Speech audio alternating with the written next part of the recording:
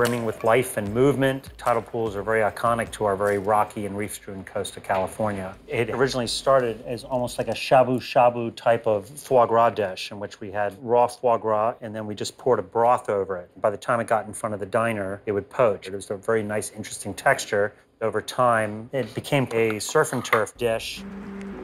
I like sea urchin. Sea urchin makes me happy. It's the one creature you always find in Northern California in a tidal pool. Very, very beautiful creatures. I have these very nice butter clams here. They are a little bit big. It's important everything is one bite. There's no room for a fork. There's no room for a knife. This deep bowl was made specifically for the tidal pool dish. Part of the pleasure of the dish is being able to drain the last bite by drinking it mussels steamed ever so lightly and then shucked where they're almost raw. A raw oyster. This is white kombu. We pickle it.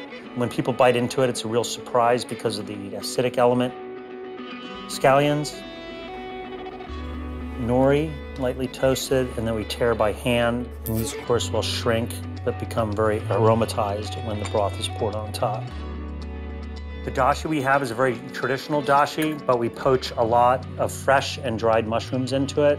In this case, it's dried shiitakes. Everything becomes aromatized as the foie gras fat renders out, which is really a pleasurable experience.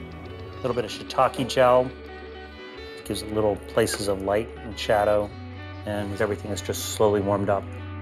There is natural salinity happening in this dish, mostly from the oyster and some aspect the clam.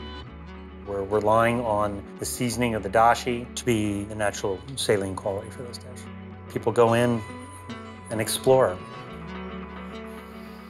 素晴らしいです。